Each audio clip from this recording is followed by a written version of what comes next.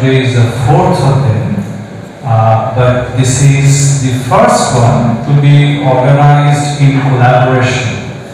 Uh, because this is an event that we bring to you in collaboration with the Consulate General of Italy in Kolkata, uh, with which I have had the personal privilege and honor of working several times uh, in my previous tenure at the Victoria Memorial Hall, but this is the first time that we are collaborating with the consulate, and I'm sure that this is not the last we'll have many more. Uh, and for bringing this collaboration, uh, we are very thankful to my old friend, the Honorable Consul General of Italy in Kolkata, Dr. Gianluca uh, uh,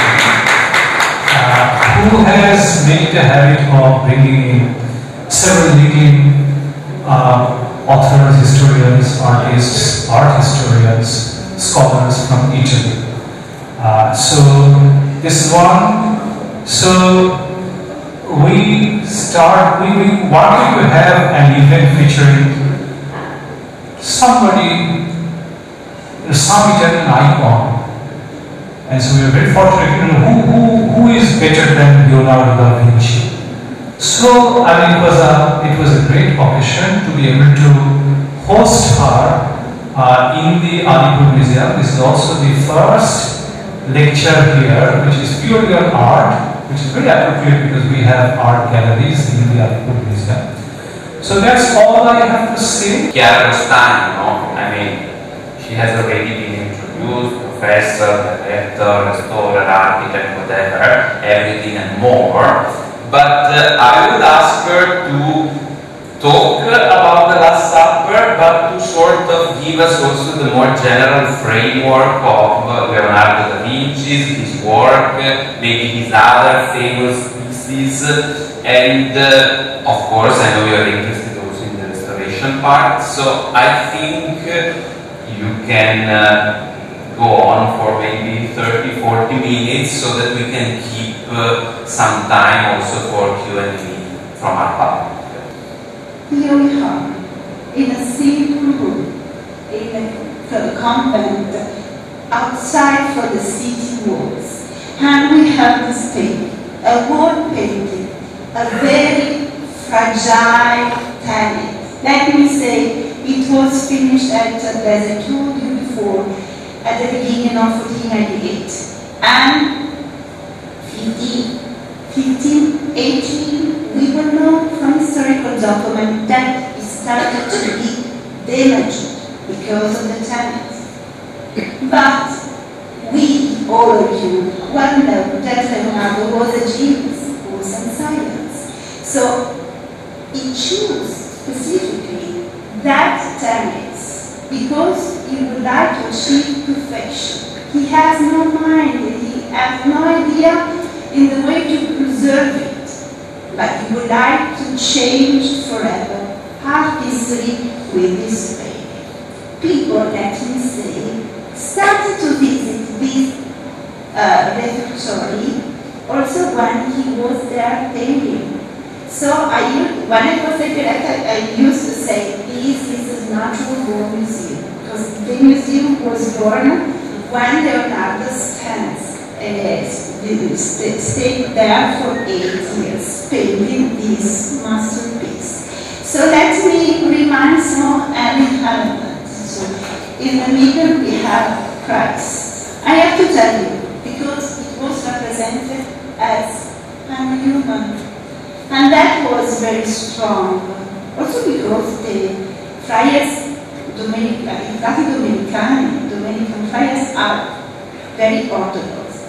So he was very strong with when we proposed this kind of painting. Because it not seems the Holy Son. It's just a man. It's just a man and he chooses a Holy Gospel of John. And here we have a specific moment the Holy, uh, that in which Christ for us said, Verily, verily, one of you should betray me. And what we have, can, we can see, is the reaction of the apostle to this sentence. It's very uncommon. And that's the reason why he would like to represent just a man. Or we all know that uh, every one of us uh, for sure was betrayed one time in his life. So to me, that's one of the reasons why this painting could talk to everyone, because it's talking about a man alone after betrayal. And he's alone, he is without any movement, and is in the middle of the composition of the painting.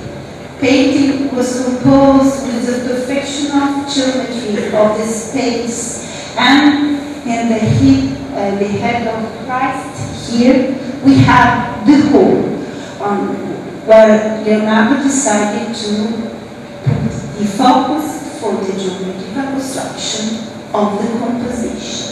And we can see for the first time in the Easter art that movement, that uh, the reaction, that soul become a part of the painting. And that's the reason why he chose a different times, because he would like to have. We will know from historical documents that he spends four days there, that I told you before. Sometimes he spent all day long just looking to the painting, adding one, two lines. In other days, he spends all day drawing, painting, moving, without any stop. So it was a very strong experience, and it was not possible to apply the fresco. Fresco a fresco seems that you have to work uh, very, very, very uh, on day uh, all the day. You have to finish the part of the painting in the day because you can work on the um, on the surface only if water is inside. After one day, there's no water and the day is So you cannot have the opportunity to work on it again. Little elements you can correct, but it's done. That was not possible for me. You would like to have time, you would like to have uh, to work slowly, you would like to change in the achievement of the perfection. So we choose a different techniques. I would like to just to remember, remind in few words, the element of the composition. Here, look, this is James, okay? James the Greater. And look, uh, we have a lot of sketching uh, taken by Leonardo da Vinci sketch because he's opening his heart his way, like he say, no, because it, it's very Italian painting because you can uh, understand the meanings, look at the hands, look at the expression of the voice. So, uh, as Goethe helps us to understand, he seems to say, no, I don't want to believe in it. And look at Thomas. Um, look, Thomas is there, is he, in this expression, because we will know uh, from the Holy Ghost, but that he said, I cannot believe it. I don't want to believe it until I can put my finger inside your body. But at the same time, it seems to say, it's the Lord that designed that for us. And here, one of the most beautiful elements in art history, this is Philip. To say, no, Master, not me. Tell me that I'm not the betrayer. And look at this. This is very Italian. He's met you. And he seems to go back to Judas and not Judas the betrayer. That is he, another Judas Tadeo. Here and Simon. That are talking very slowly, because you know they are in age. And Leonardo da Vinci would like to stress that when you have experience, when you have the experience of the life, you can face anything. So that's the reason why they seem quiet. They seem not to be a part of the, all the uh, of the movie. Leonardo Vinci said that it, it seems a kind of music that starting from the uh, expression of Christ involve all the, all the people in the reaction. This is one of the most unbelievable composition in a painting because Leonardo would like to have John and Peter. Many times people ask to me if male or female is John. John was uh, almost 15 years old. And Leonardo chose to represent him in this way because for him at that age a young man is the expression of the perfection of beauty. And he said it's a moment in the life of a young man when you do not understand it's a male and male, it doesn't matter. You can see the perfection of the beauty. So we represent him in this way before I show his hand on the table, waiting to understand that he was completing. We even know the truth. And he was the youngest and uh, Christ in our tradition take a lot of care of him. And here we have Peter. Look, remember the Hamlet I showed you before, using the sketch. And let me say, for the first time in the history of art, Leonardo chose to have. Here, Judah, the betrayer, is he here? He has a harp on the holy table, and he has in his hand a bag with the money received from the Roman for the betrayer. And he, unbelievable.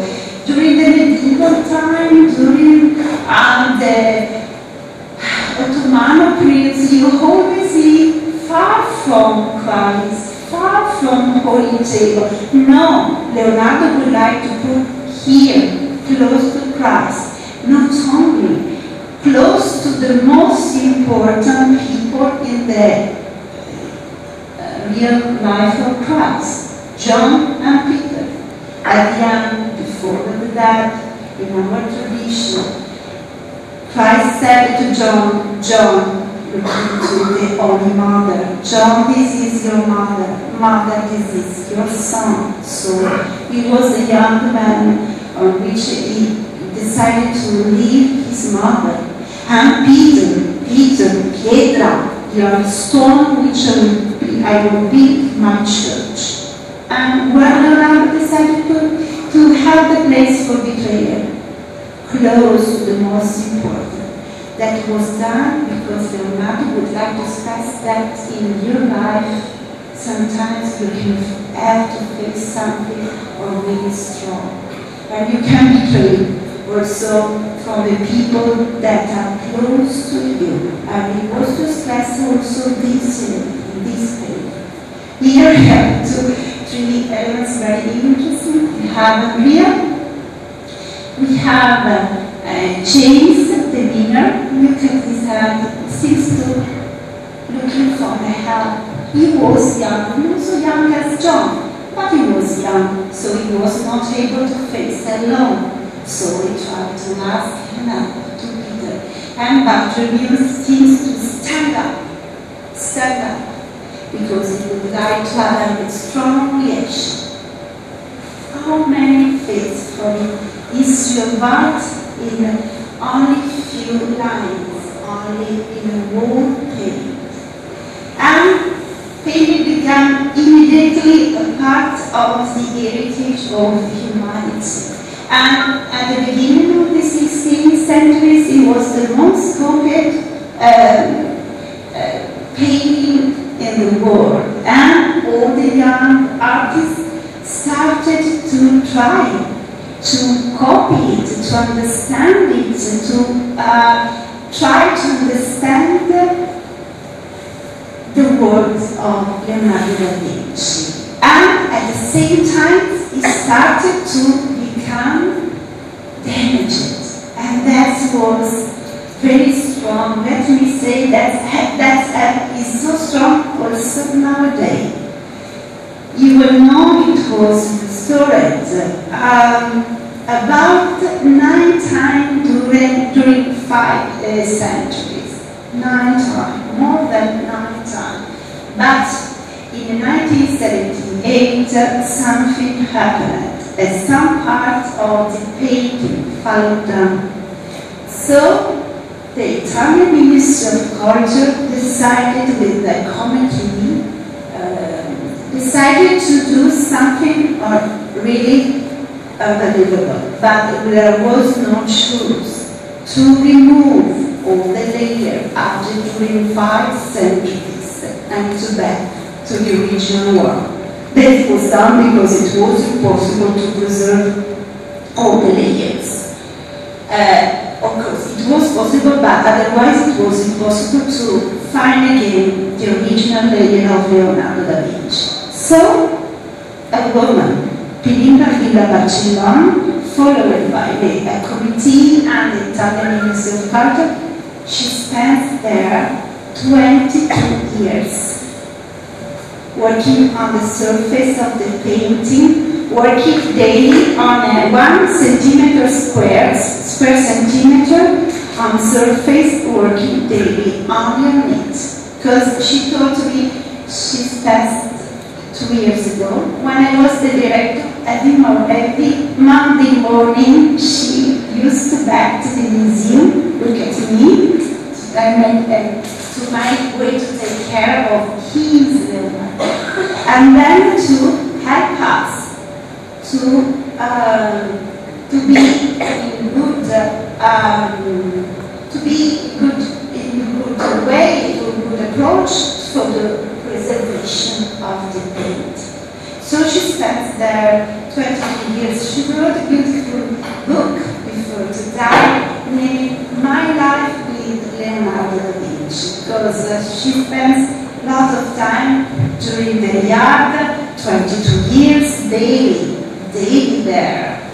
Daily there, taking care of Leonardo, and then after 1999, again following for the preventive preservation that we used to do every year. Hi, I'm Aparajita from Radio Newtown, and we have Chiara Rostagno. Uh, we heard a sensitive, huge information about the Leonardo da Vinci. Uh, now, I would like to ask you about your feelings about this seminar. I'm very glad to be here in uh, Kolkata and uh, to have this conference and uh, all the uh, people around uh, with a lot of attention on Leonardo da Vinci masterpieces and the art history. It was very emotional for me to be here. It's not my first time in India, but the first time in Kolkata. Beautiful city, beautiful people, and I'm really enjoy and grateful to have me here. Uh, you like the city of joy, Kolkata? I, I just arrived yesterday, but uh, I would like to visit uh, and uh, to well know your beautiful heritage. I, I love uh, Indian heritage. I'm so interested. Love your museum and uh, grateful for everyone.